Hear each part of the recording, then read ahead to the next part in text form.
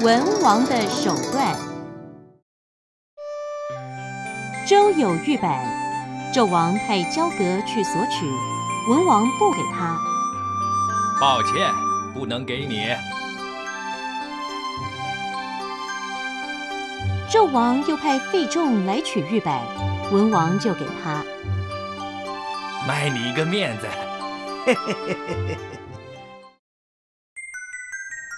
交葛贤能，费仲无道。文王不愿贤人得志，所以把玉板给了费仲。文王在渭水边提拔太公望，立他为军师，这是善用贤人。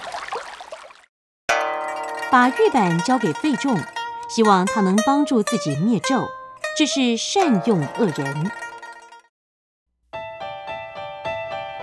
不尊重所失礼的，不善用所借资的，虽然自以为智，其实是迷惑愚昧的，这是极为妙的道理。